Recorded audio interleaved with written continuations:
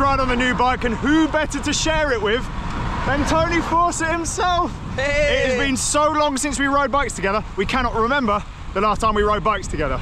But today is the day, out on the road bikes, towards the Pennines, bit moist. It's as humid as Hawaii. Similar conditions, I would say. Almost identical. In fact, true story. Blackhall Mill that we're approaching now is twinned with Hawaii. True facts. Fake news. Aiming for two or three hours, make sure the bike's all working because we've got a very important trip coming up. Uh, so far, so good. I don't know if my bar tape's gonna stay white even till the end of this ride though. No, It's kind of sad. it's not particularly very northern, is it? No. I'll sort you one, Izzy. So, All my training has made me less fit, Tony. well, you couldn't pick the worst route to come on. What, only climbs. But like, yeah, it's like the hardest route. Like I literally never come across this way because it's either up or down. Oh, I only come on my own when I want to batter myself. I would never come. There's only you stupid enough to like.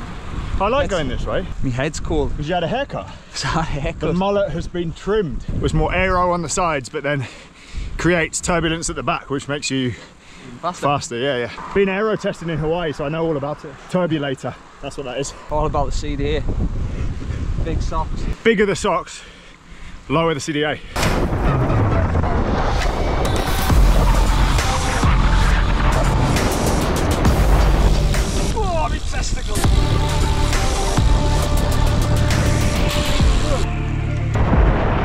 I'm scared that we're in the Pennines and we have as strong of a tailwind as we do.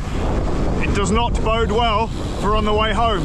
Just ride back here, Francis. It's all right. Oh, is it all right there? Yeah. Yeah, thanks. Tony's just shouted at me to tell me there's something interesting.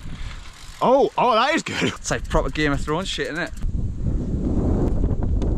They look real though, don't they? Yeah. Taller than you. It's miserable. Classic bit of northern action, that isn't it? Bit of HP sauce. Nice little cafe stop. Full belly. Perfect to ride up a massive hill to get home. Like and subscribe to Tony Fawcett. Link down below. well, Evie, do you know it's clean? Uh, it looks clean.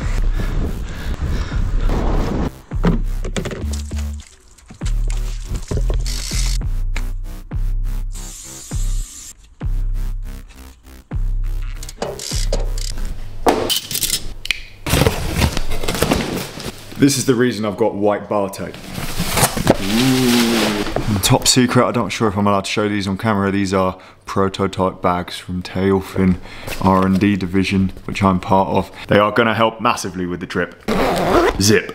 Another one. So the conclusion from this morning's ride is that the bike rides really well. My bar tape is no longer white though. It's really nice having the perfect width bar. These are 40 centimeters, the other one had 42 centimeters on. We're a little bit too wide. I guess you could argue it was quite nice when you were doing more gnarly gravel descents around here, but in reality, the right width is always going to be better. My other bike choice for this trip was going to be the Scott Foil, the new one that I've been riding for the last few weeks. And frankly, after riding this, I'm glad I'm going to be on this one. The tops of the handlebars on here, the gravel bike, are rounded and they're definitely more comfortable than the aero ones on the Scott Foil.